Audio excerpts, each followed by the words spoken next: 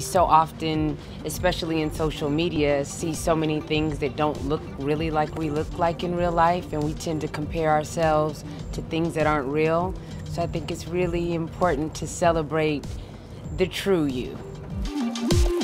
Black American families have so much to do with what America is today, and so often our stories don't get told the way we know them to be, the way we've lived them. They've been either sensationalized or they've been um, edited in a way that is not true to the actual story. I absolutely am a woman in motion. I think through images. I love to people watch. I love to take it all in. I love how my experience influences the type of story I tell.